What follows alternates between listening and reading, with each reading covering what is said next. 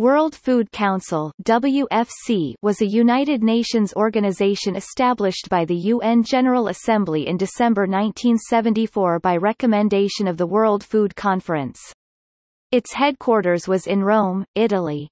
WFC's goal was to serve as coordinating body for national ministries of agriculture to help reduce malnutrition and hunger. WFC was officially suspended in 1993. WFC is one of very few if not the only UN organization which has been suspended. WFC's functions were absorbed by the Food and Agriculture Organization of the United Nations and the World Food Programme.